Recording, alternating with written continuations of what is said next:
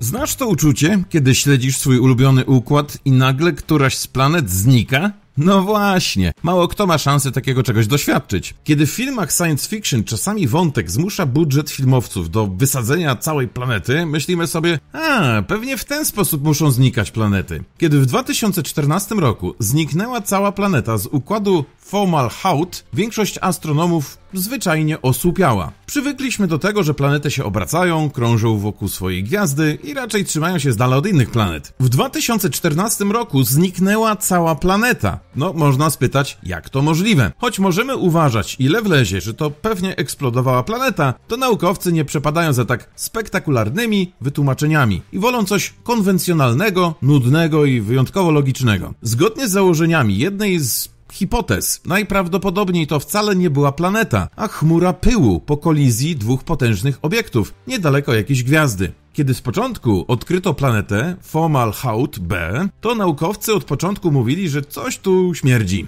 Planety przeważnie się obserwuje jako ciemne plamki, a ta planeta była zdecydowanie jaśniejsza niż pozostałe. Nie robiono sobie niczego z tego, nie zaobserwowano emisji podczerwieni, no to doszli do wniosku, że najwyraźniej wokół planety musi być sporo pyłu. Kiedy jednak analizowano wszystkie dane na temat Fomalhauta B, to było mnóstwo sprzeczności, sprzeczności, które wskazywały na to, że taka planeta nie ma prawa istnieć. No i w ogóle głupio się zrobiło, jak rzekoma planeta już kompletnie zniknęła. Naukowcy typują, że kiedy ją po raz pierwszy zaobserwowano, to nieco wcześniej doszło do zderzenia dwóch komet 200-kilometrowej średnicy każda, a od jakiegoś czasu, jako że cały mikrometrowych rozmiarów pył się rozpłynął, to razem z nim wrażenie planety również. Czy znikająca planeta przynosi szczęście? Być może. Na pewno wiemy jedno. Z wyliczeń wynika, że takie zdarzenie dwóch komet w tamtym układzie zdarza się może dwa razy na pół miliarda lat. Szczęście, że w ogóle zaobserwowaliśmy chociażby